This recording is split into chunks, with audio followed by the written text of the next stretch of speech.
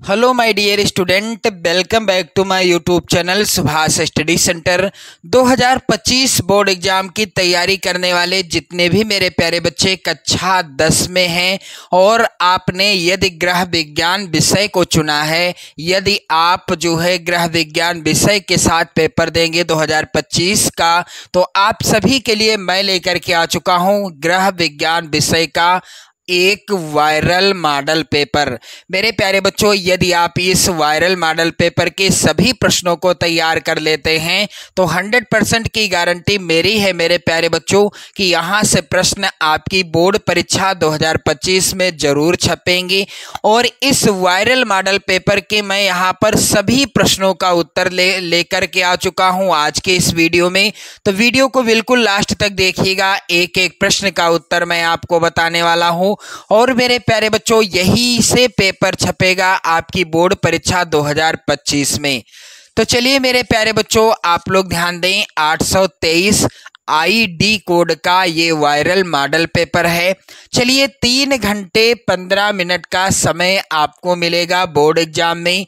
Paper का पूर्णांक रहेगा सत्तर अंकों का। मैंने आपको बताया है कि यदि आप इस पेपर को तैयार कर लेंगे मॉडल पेपर को तैयार कर लेंगे तो आप सत्तर में सत्तर का स्कोर बहुत ही आसानी से कर लेंगे। चलिए यहाँ पर नोट के अंतर्गत ध्यान दें आप लोग। प्रारंभ के पंद्रह मिनट आपको मिलेंगे प्रश्न पत्र पढ़ने के लिए, जैसा कि निर्धारित किया गया है यूपी बोर्ड के द्वारा। और निर्देश है यहाँ पर सभी प्रश्न करना अनिवार्य है। प्रश्न पत्र के दो खंड हैं, खंड आ तथा खंड बा। पेपर दो खंडों में विभाजित रहेगा, खंड आ में और खंड बा में।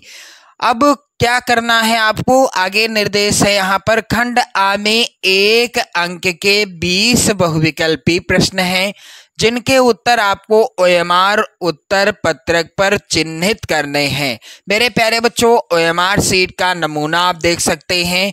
इसी तरह की ओएमआर सीट आपको मिलेगी 2025 बोर्ड एग्ज़ाम में और जो 20 प्रश्न आएँगे, चाहे गृह विज्ञान के हों या किसी भी विषय के हों, उन सभी प्रश्नों का आंसर आपको यहाँ पर भरना होगा, जिस विषय का पेपर होगा, उस विषय कि ओ में आपको भरना है। जैसे हिंदी का पेपर है तो हिंदी वाले दिन आपको OMR सीट मिलेगी।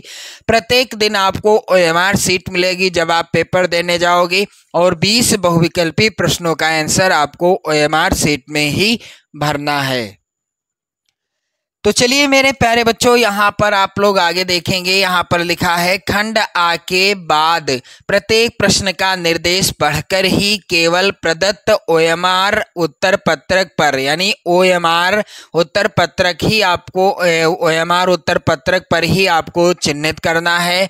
ओएमआर उत्तर पत्रक पर उत्तर देने के पश्चात उसे नहीं काटें तथा इरेजर अथवा व्हाइटनर का प्रयोग ना करें। अब यहाँ पर आप लोग समझिएगा थोड़ी सी मेरी बात को। यहाँ पर पहला प्रश्न है और इसके चार विकल्प दिए गए हैं। अब आपने यहाँ पर ए वाला गोला काला कर दिया, जबकि सही था यहाँ पर सी वाला। अब ना तो आप इसे काट सकते हैं और ना ही इसमें वाइटनर लगा सकते हैं और ना ही इरेजर से साफ़ कर सकते हैं। कुछ नहीं करना, इसलिए आप ओएमआर जब भी भरिएगा, बिल्कुल कन्फर्म हो जाए, तभी आप भरिएगा। चलिए, अगला निर्देश है, प्रश्न के अंक उसके सम्मुख अंकित हैं। खंड बा में पचास अंक के वर्णनात्मक प्रश्न हैं। मेरे प्यारे बच्चों खंड बा में सभी प्रश्नों के उत्तर एक साथ ही आपको करना होगा। प्रथम प्रश्न से आरंभ कीजिएगा और अंतिम प्रश्न तक करते जाइएगा। जिस प्रश्न का उत्तर आपको नहीं पता है, उस पर आप समय नष्ट ना कीजिएगा। तो चलिए मेरे प्यारे बच्चों, खंड आ यानी पार्ट ए। निर्देश है यहाँ पर प्रश्न संख्या एक से बीस बहुविकल्पीय प्रश्न है। प्रत्येक के चार चार वैकल्पिक उत्तर दिए गए हैं। उनमें से सही विकल्प चुनकर ओ ओएमआर सेट में गोले को काला करें। अब यहाँ पर पहला जो प्रश्न है, मेरे प्यारे बच्चों, आप सभी लोग इन प्रश्नों को रट लेना। क्योंकि यही प्रश्न आपकी बोर्ड परीक्षा 2025 में आएँगे ही आएँगे। पहला प्रश्न है, बजट की मूलभूत आवश्यकताएँ क्या हैं? तो यहाँ पर राइट आंसर हो जाएगा, भोजन, आवास, वस्त्र। यहाँ पर डी वाला ऑप्शन सही होगा, ये सभी। चलिए, अगला प्रश्न है, किसी शुभ अवसर पर दिया जाने वाला चेक कौन सा चेक कहलाता है? मेरे प्यारे बच्चों जो चेक किसी शुभ अवसर पर दिया जाता है उसे क्या कहते हैं? उसे कहते हैं उपहार चेक। यहाँ पर डी वाला ऑप्शन सही हो जाएगा। अब यहाँ पर मान लीजिए पहला प्रश्न है और इसमें डी ऑप्शन सही है। तो पहले प्रश्न के आगे आप डी वाला गोला काला कर देंगे। दूसरे प्रश्न में यहाँ पर है, इसमें भी डी ऑप्शन सही है। तो दूसरे प्रश्न के आगे यहाँ पर डी वाला गोला आप काला कर देंगे। और इसी तरह से आपको प्रश्न संख्या एक से प्रश्न संख्या बीस तक के प्रश्नों के गोले काले करने हैं। और जो भी गोला आपने काला किया है, नीचे आप क्रमशः भर दीजिएगा इस तरह से। जैसे पहले मैं डी वाला गोला काला किया तो आप यहाँ पर डी भरेंगी। जो भी गोला आप ऊपर काला करेंगे, इसी तरह से आपको यहाँ पर दर्शा देना है। प्रश्न संख्या एक से प्रश्न संख्या बीस तक। चलिए, अगला प्रश्न है मेरे प्यारे बच्चों।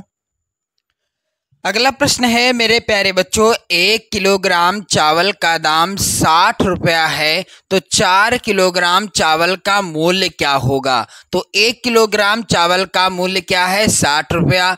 चार किलोग्राम चावल का मूल्य क्या होगा? बिल्कुल आसान सा सवाल है, मेरे प्यारे बच्चों।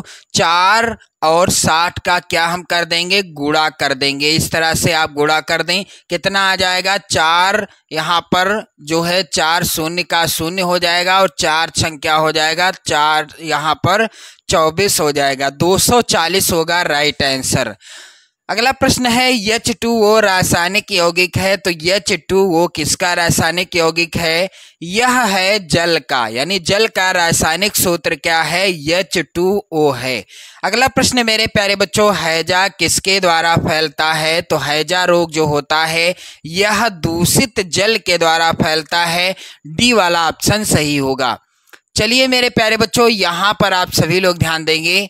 प्रश्न अगला है, पर्यावरण दिवस किस दिन मनाया जाता है? तो प्रत्येक वर्ष पाँच जून को डी वाला ऑप्शन सही होगा। प्रत्येक वर्ष पाँच जून को पर्यावरण दिवस मनाया जाता है। अगला प्रश्न एटीएस इंजेक्शन बचाव करता है तो एटीएस इंजेक्शन क्या बचाव करता है? किससे बचाव करता है? टिटनस से। ये वाला ऑप्शन यहाँ पर सही होगा। प्रश्न यहाँ पर अगला है, मेरे प्यारे बच्चों, विटामिन सी का उत्तम स्रोत क्या है? तो विटामिन सी का उत्तम स्रोत है आंवला। यहाँ पर बी वाला ऑप्शन सही हो जाएगा। अगला प्रश्न है, मेरे प्यारे बच्चों, बजट में आय व्यय का विवरण कितनी अवधि का होता है? तो बजट में आय व्यय का विवरण होता है एक माह का। यहाँ पर ए वाला ऑप्शन क्या हो जाएगा? राइट आंसर हो जाएगा। चलिए मेरे प्यारे बच्चों, अगला प्रश्न है, एक अनिवार्य यातायात संकेत किस आकृति का होता है? तो यहाँ पर राइट आंसर क्या होगा कि एक अनिवार्य यातायात का संकेत जो होता है, वह होता है वृत्तीय आकृति का।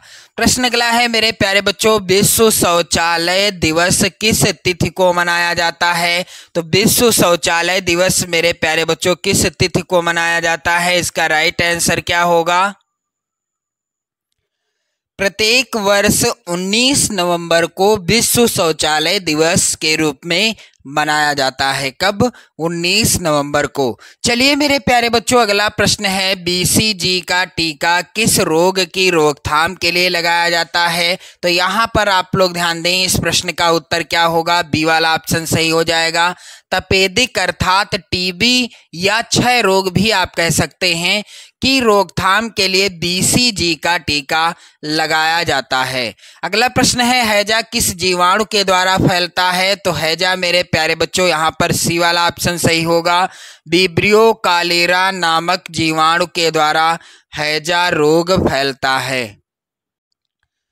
प्रश्न अगला है, मेरे प्यारे बच्चों, यहाँ पर प्रदूषण से बचने के लिए किस प्रकार का ईंधन उत्तम होता है? तो हमें यदि प्रदूषण से बचना है तो सबसे अच्छा ईंधन कौन सा होगा? यहाँ पर बी वाला ऑप्शन सही होगा, गैस। डेंगू रोग फैलता है तो डेंगू रोग मेरे प्यारे बच्चों फैलता है। मच्छर के काटने से बी वाला ऑप्शन सही हो जाएगा। चलिए अगला प्रश्न है, वस्त्र काटने से पहले कपड़े पर किससे निशान लगाना चाहिए? तो वस्त्र काटने से पहले कपड़े पर मिल्टन चौक से निशान लगाना चाहिए, क्योंकि ये जो है आसानी से साफ़ भी हो जाती है। अगला प्रश्न है, मेरे प्यारे बच्चों, भोजन पकाने में किसका प्रयोग हानिकारक होता है? यदि हम भोजन पका रहे हैं और उस प्रयोग कर रहे हैं, किसका जो कि हानिकारक होगा? मेरे प्यारे बच्चों, भोजन पकाने में यदि हम सोडा का प्रयोग करते हैं तो हमारे लिए हानिकारक होगा। रोगी का भोजन होना चाहिए, अगला प्रश्न है तो रोगी का भोजन मेरे प्यारे बच्चों होना चाहिए सुपाच्य। ऐसा भोजन होना चाहिए जिसे वह आसानी से पचा सके, उसका शरीर आसानी से उस भोजन को पचा सके। प्रश्न अगला है, मोच आने पर निम्न में से किसका प्रयोग करते हैं? तो यदि किसी को मोच आ जाती है, या आपको या किसी को भी मोच आती है तो किसका प्रयोग कर करेंगे दिए गए विकल्पों में से सी वाला ऑप्शन सही होगा आयोडेक्स का। मानव शरीर में फेफड़ों की संख्या कितनी होती है? सबसे इम्पोर्टेंट और सबसे सरल प्रश्न। इसका आंसर तो आम लोग भी दे सकते हैं। यहाँ पर राइट आंसर होगा डी वाला ऑप्शन दो होते हैं। मानव के शरीर में कितने फेफड़े होते हैं? दो फेफड़े होते हैं। अब बारी आती है खंड बा के प्रश्नों की ओर बढ़ने की तो यहाँ पर निर्देश आप लोग ज़रूर पढ़ लेना। प्रश्न संख्या इक्कीस से छब्बीस अति लघुत्तरीय हैं। प्रत्येक प्रश्न का उत्तर अधिकतम पच्चीस शब्दों में लिखना है। और प्रत्येक प्रश्न है कितने नंबर का? दो नंबर का। तो प्रत्येक प्रश्न का उत्तर भी मैं आपको बताता चलूँगा। जैसे कि पहला इंपॉर्टेंट प्रश्न है मेरे प्यारे बच्चों, जल की उपयोगिता लिखिए। तो यहाँ पर प्रश्नोत्तर संख्या इस तरह से डाला जाता है। अब यहाँ पर उत्तर क्या हो जाएगा कि जल शरीर निर्माण व अस्तित्व बनाए रखने। अस्तित्व बनाए रखने, पाचन क्रिया, शारीरिक विकारों को निष्कासित करने और मेरे प्यारे बच्चों, शारीरिक तापमान समान बनाए रखने, रक्त को तरल बनाए रखने के लिए अतिरिक्त दैनिक कार्यों एवं सामुदायिक कार्यों में जल उपयोगी है। ये हो गया इसका उत्तर। चलिए दूसरा प्रश्न यहाँ पर देखने से पहले यहाँ पर अथवा आप लोग ध्यान दें, प्रश्न संख्या 22 है, ध्वनि प्रदूषण के दो कारण बताइए। तो प्रश्नोत्तर संख्या 22 इसका उत्तर क्या हो जाएगा? ध्वनि प्रदूषण के कारण है परिवहन के साधन, मशीनें, विस्फोटक पदार्थ रेडियो, टीवी, कैसेट आदि। अगला प्रश्न मेरे प्यारे बच्चों है वेरी वेरी इंपॉर्टेंट है। एक मीटर कपड़े का दाम छप्पन रुपये है तो डेढ़ मीटर कपड़े का दाम बताइए। तो एक मीटर कपड़े का दाम क्या है? छप्पन रुपये चलिए इसको हल करते हैं। तो डेढ़ मीटर कपड़े का मूल्य क्या होगा? छप्पन गुड़े एक दशमलव पाँच, यानी चौरासी रुपया हो जाएगा।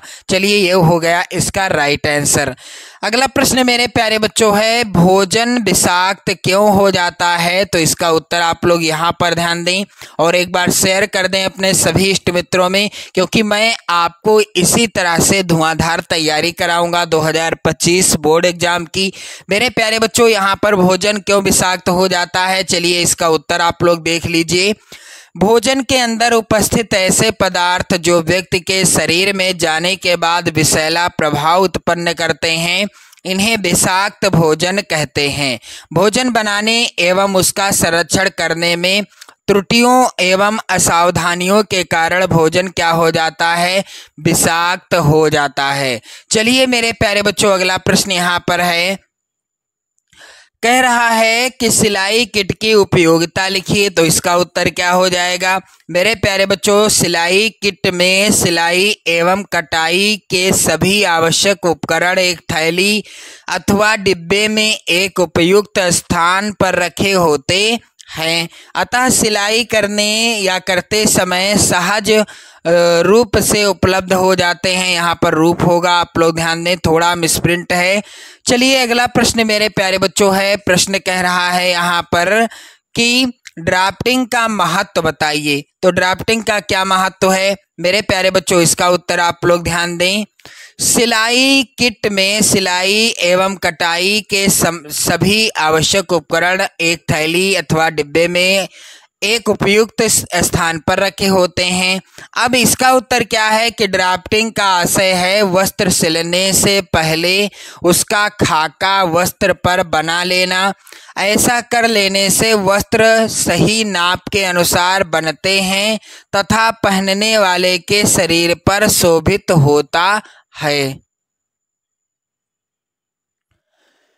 तो मेरे प्यारे बच्चों, आपने देखा ड्राफ्टिंग का आशय क्या है? वस्त्र सिलने से पहले उसका खाका वस्त्र पर बना लेना। ऐसा कर लेने से वस्त्र सही नाप के अनुसार बनता है तथा पहनने वाले के शरीर पर शोभित होता है।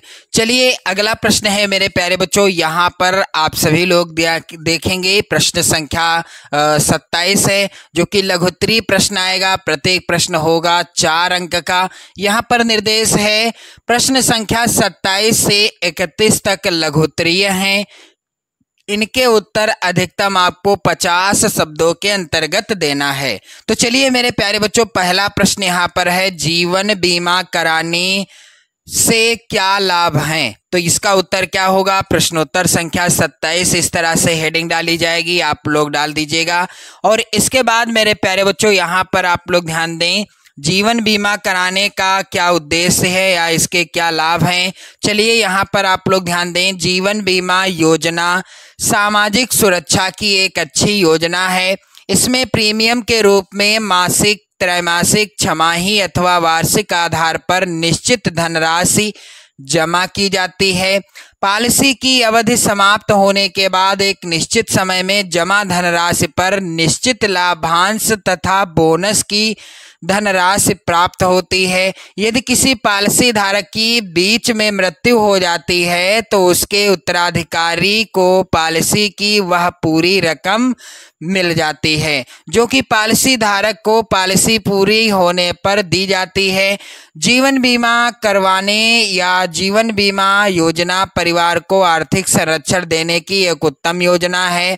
बीमे से लाभ कौन कौन से हैं? तो पहला लाभ है मेरे प्यारे बच्चों बीमा धारक की मृत्यु के बाद उसके परिवार को आर्थिक संरक्षण मिलता है। दूसरा, वृद्धावस्था में बचत के धन से आवश्यकताओं की पूर्ति होती है। तीसरा, इसे अनिवार्य बचत होती है, इससे और चौथा, बीमे की राशि कर मुक्त होती है। किसी प्रकार का टैक्स इस पर नहीं लगता। चलिए मेरे प्यारे बच्चों, यहाँ पर आप देखेंगे प्रश्न संख्या 27 के बाद 28 है। अथवा वाला जो है, इसका आंसर आप लोग यहाँ पर ध्यान दें। वृक्षारोपण से क्या लाभ है? तो चलिए इसका उत्तर आप लोग ध्यान दें। प्रश्न संख्या 27 का अथवा, यानी प्रश्नोत्तर संख्या 27 का अथवा, वृक्षारोपण से निम्नलिखित लाभ हैं। पहला, वृक्षों से हमें लकड़ियाँ प्राप्त होती हैं, जो मकान बनाने एवं फर्नीचर के काम में आती हैं। दूसरा लाभ है, वन पर्यावरण को नियंत्रित रखते हैं। तीसरा लाभ है, मेरे प्यारे बच्चों, वनों से हमें ऑक्सीजन प्राप्त होती है, जो मनुष्य के लिए अनिवार्य है। और यहाँ पर अगला कारण है वनों के हरा हो, वनों के होने से मृदा का अपर्दन नहीं होता है। पांचवा कारण है यहाँ पर यानी पांचवा लाभ है वनों के द्वारा। वनों के होने से वर्षा अच्छी होती है और सूखे की संभावना कम होती है। वनों से हमें फल एवं अनेक प्रकार की जड़ी बूटियाँ प्राप्त होती हैं। चलिए मेरे प्यारे बच्चों, अगला प्रश्न यहाँ पर प्रश्न संख्या अट्ठाईस है। पैंतीस और अतिसार में क्या अंतर है? ये सभी प्रश्न आप लोग रट लीजिएगा। तो चलिए इसका उत्तर क्या होगा मेरे प्यारे बच्चों? पैंतीस और अतिसार में अंतर। सामान्यतः अतिसार कारण अपच होता है, यानी अतिसार का कारण क्या होता है? अपच होता है। इससे भिन्न पेचिस की उत्पत्ति का मुख्य कारण कुछ जीवाणुओं का संक्रमण होता है। कभी कभी पेचिस में सोच के माध्यम से आओ, श्लेष्मा तथा रक्त स्त्राव भी हो जाता है। जहाँ तक अतिसार का प्रश्न है, उसमें इस प्रकार के कोई लक्षण प्रकट नहीं होते। और अतिसार की दशा में प्रत्यय प्रायः बच्चों को अधिक संख्या में तथा पतले दस्त होते हैं, जिससे बच्चा प्रायः कमज़ोर होने लगता है। चलिए मेरे प्यारे बच्चों, अगला प्रश्न यहाँ पर आप लोग ध्यान दें। प्रश्न संख्या यहाँ पर अट्ठा, अट्ठाईस का अथवा है। बजट का क्या अर्थ है? पारिवारिक बजट बनाने के चार लाभ लिखिए। तो यहाँ पर आप लोग ध्यान दें, अट्ठाईस का अथवा क्या हो जाएगा? मेरे प्यारे बच्चों, इसका जो है उत्तर आप लोग तैयार कर लीजिएगा। अगला प्रश्न है उनतीस भोजन पकाने से पहले पकाते समय और परोसते समय किस प्रकार की स्वच्छता रखनी चाहिए? तो यहाँ पर प्रश्न संख्या उनतीस का उत्तर होगा।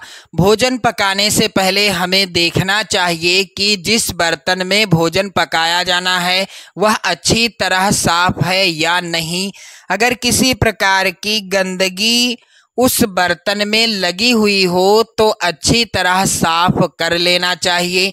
भोजन पकाते समय यह ध्यान रखना ज़रूरी है कि भोजन आवश्यकता से अधिक ना गल जाए, क्योंकि भोजन पकाते समय अगर अधिक गल जाता है तो उसके पोषक तत्व नष्ट हो जाते हैं।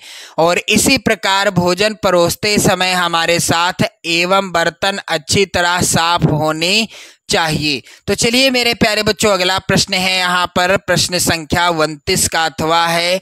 कह रहा है, सिलाई किट की क्या उपयोगिता है? इसमें रखी जाने वाली पाँच वस्तुओं के नाम लिखिए। तो चलिए इसका उत्तर क्या होगा? सिलाई किट की उपयोगिता क्या है? प्रश्नोत्तर संख्या उनतीस अथवा सिलाई किट बनाने से सिलाई कटाई के समस्त उपकरण एक स्थान पर सुरक्षित हो जाते हैं, जिससे यह सामान्य रूप से गायब नहीं होते तथा आवश्यकता पड़ने पर किसी भी उपकरण को तुरंत उपलब्ध किया जा सकता है। तो यहाँ पर आप लोग ध्यान दें, सिलाई किट में रखी जाने वाली सामग्री कौन कौन सी हैं? फीता, जिसे इंच टेप भी कहते हैं, कैची, मिल्टन चौक, धागे और पिने। अगला प्रश्न, मेरे प्यारे बच्चों, प्रश्न संख्या तीस है। अस्थिभंग किसे कहते हैं? इसके विभिन्न प्रकार लिखिए। तो अस्थिभंग किसे कहते हैं? यहाँ पर राइट आंसर क्या होगा, मेरे प्यारे बच्चों?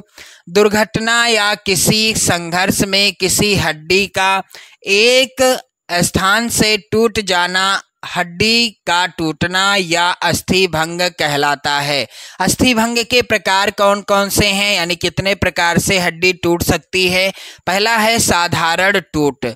अस्थि टूटकर अपने स्थान पर रहती है। मांसपेशियों पर बाहर से सूजन आ जाती है। मांसपेशियों के तंतुओं को कोई नुकसान नहीं पहुंचाता है।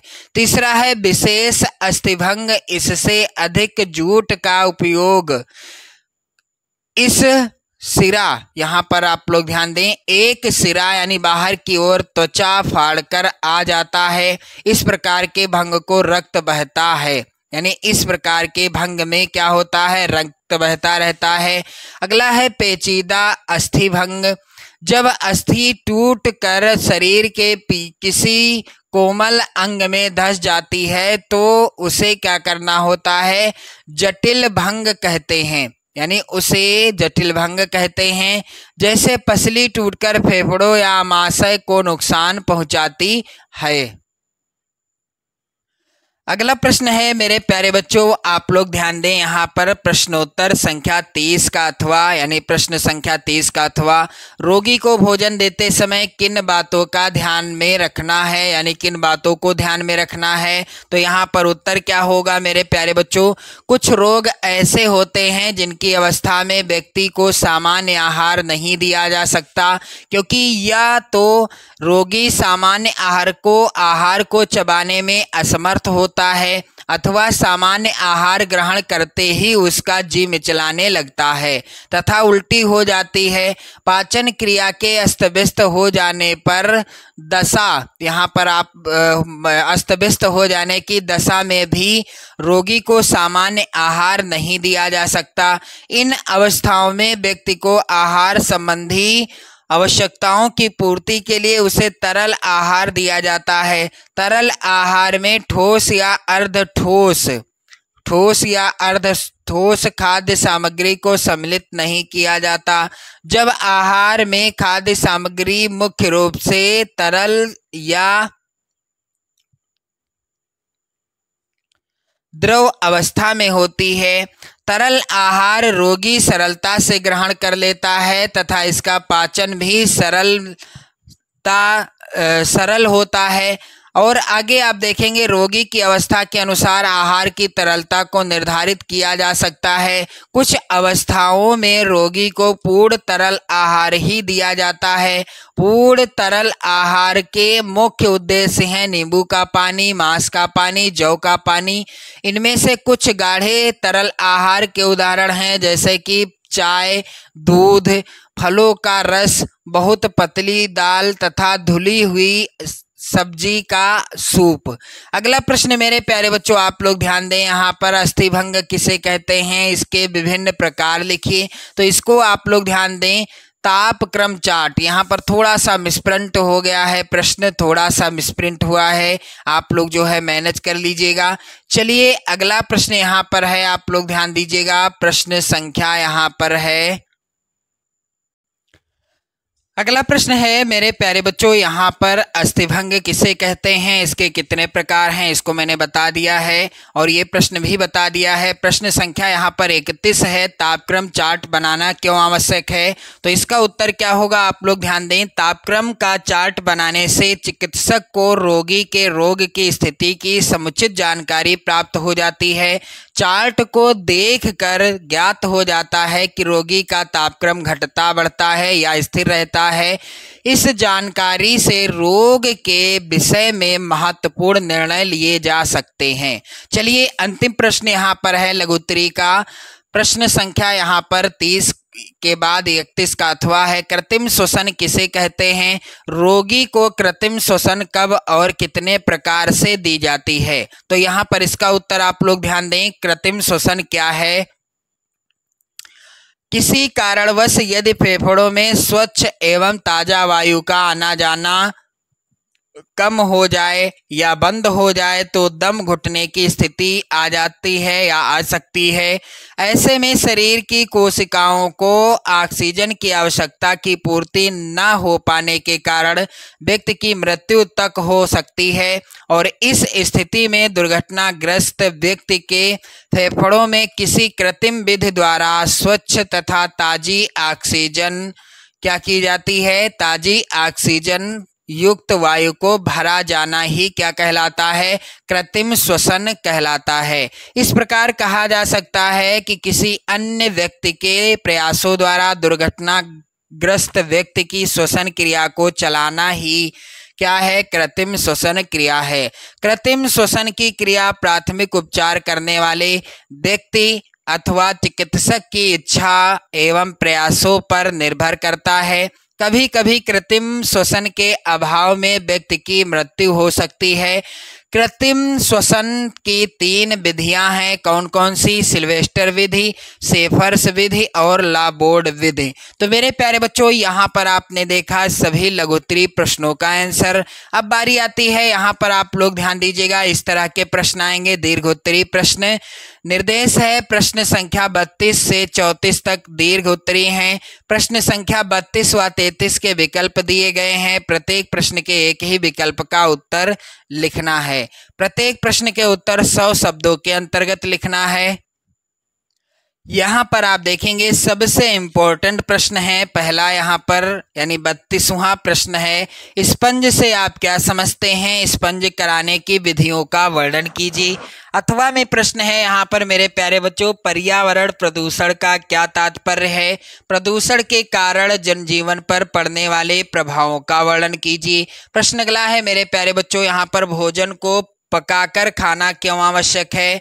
और अथवा में प्रश्न यहाँ पर आप लोग तैयार कर लेना। हेपा हेपेटाइटिस रोग के कारण लक्षण एवं बचाव के उपाय लिखिए। प्रत्येक प्रश्न आएगा छः नंबर का। मेरे प्यारे बच्चों, यहाँ पर प्रश्न संख्या चौंतीस है। श्वसन क्रिया क्यों आवश्यक है? फेफड़ों में रक्त के शुद्धिकरण की प्रक्रिया समझाइए। तो इसी तरह के प्रश्न आने हैं। 2025 बोर्ड परीक्षा में यहीं से प्रश्न छपेंगे। आप लोग वीडियो को लाइक कर देना, शेयर शेयर कर देना। चैनल पर यदि आप नए हैं तो चैनल को भी सब्सक्राइब कर लीजिएगा।